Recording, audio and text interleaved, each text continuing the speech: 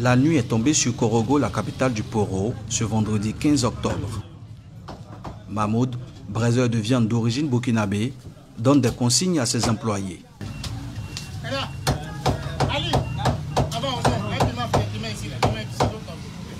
21 ans déjà que l'homme exerce ici son activité. La particularité de ma viande, je paye d'abord les moutons qui sont bien portants. Les bons moutons qui sont bien en forme. Les viande est doux et tendre. Aujourd'hui, le goût savoureux de ces plats dépasse les frontières du Poro. Peut-être c'est ceux qui mangent. C'est à eux, je remercie. Je ne sais pas qu'est-ce qu'ils ont vu vraiment. Si ils ont trouvé que c'est doux, parce que moi-même je mange, je vois que c'est doux. Les habitants de Korogo raffolent de la viande braisée au feu de bois, encore appelée choukouya.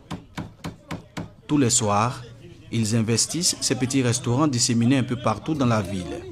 Chaque week-end, euh, on passe le temps ici. Euh, la manière de préparer, la manière de faire cuire la viande, la viande de mouton surtout, elle est vraiment agréable à tout, à tout le monde.